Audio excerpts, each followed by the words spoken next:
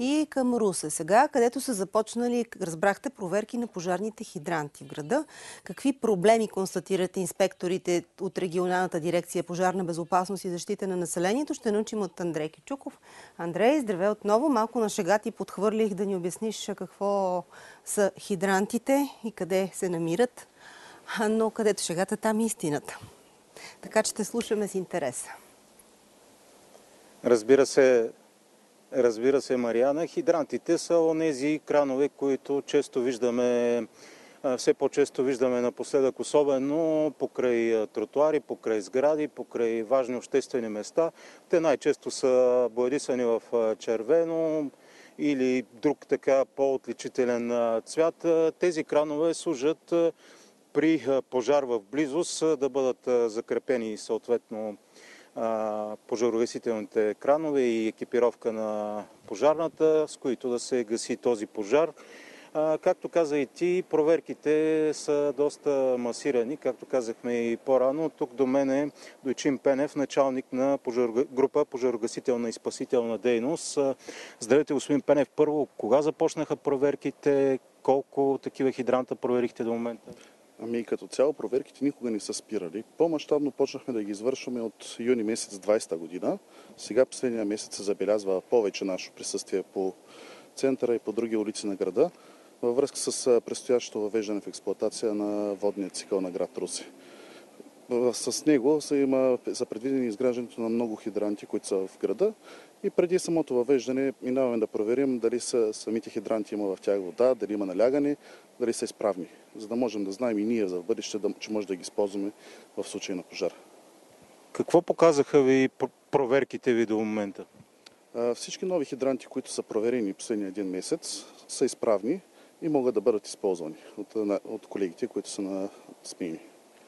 Нека само тук да метнем и какво споделиха русенци малко по-рано днес. Какво знаят за хидрантите, които виждат ежедневно по улиците? Те са необходими според мен. Ако нещо се случи, пожарникарите да имат достъп до вода. Доколко надежни са според вас? А, не знам. Нямам представа. Надявам се да са надежни. Дали са надежни, не зная, но би трябвало да са функционални. Не са изпробвани от как са монтирани.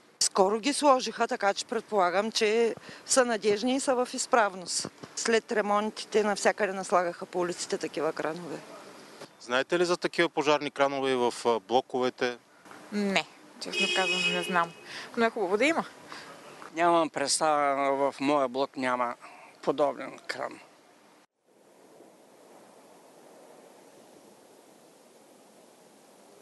Ами чухте, хората изразиха надежда да са в изправност. Вие споменахте, че тези новите са в изправност. Срещнахте ли някъде проблеми, някъде където се наложи подмяна или ремонт на някои от хидрантите?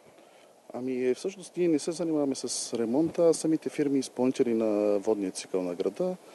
Сега, последния един месец, пак казвам, с водния цикъл не сме имали проблеми с новите хидранти.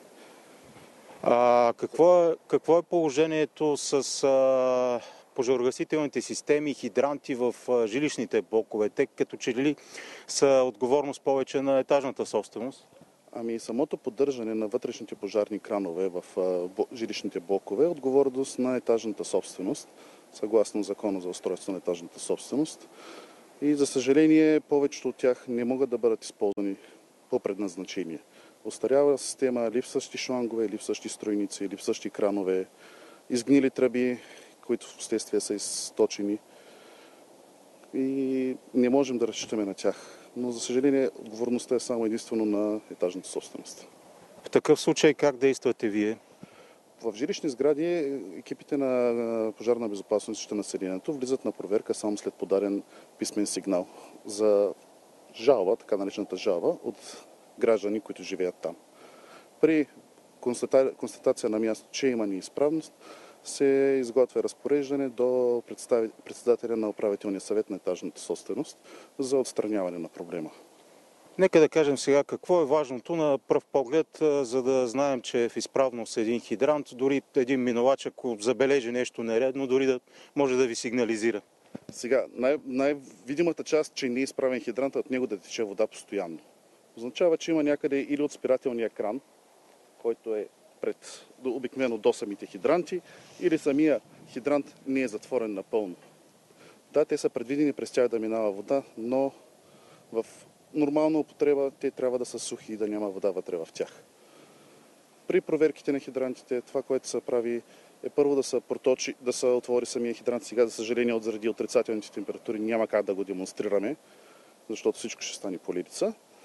Но първо се проточва самия хидрант да се източи от застоялата вода, която е последните метри преди самия хидрант. И след това се слага шланг с струйник с манометър, който да замери и се отваря хидранта напълно, да се замери какво е налягането в самия хидрант. Дали отговаря на нормативните изисквания за района. След което хидранта се спира, водата, която е в него, си влиза в дренажната система, която е изградена под него съгласно проекта и в рамките на около 5 минути вече няма вода наоколо. Това е включително и за подземните хидранти. А тук а, вие държите пример за един такъв подземен хидрант. Това е всъщност е стойка за подземен хидрант, тъй като в самия подземен хидрант там са едни уши, които с... ние ние не може да се захванем, а трябва да отворим самия кран.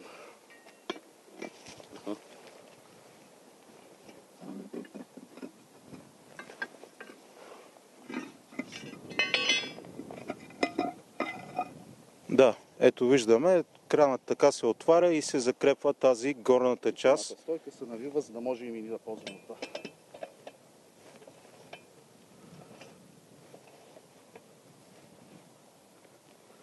След което има спирателен кран до самия хидрант, който с нашия ключ се отваря и се подава вода вече към стойката. Ами това е на подземните кра- кранове е, че пълнят с букуци, с пясък, с пръст. При ремонти на улици биват асфалтирани, коли спират от- отгоре им, особено в централната част на града.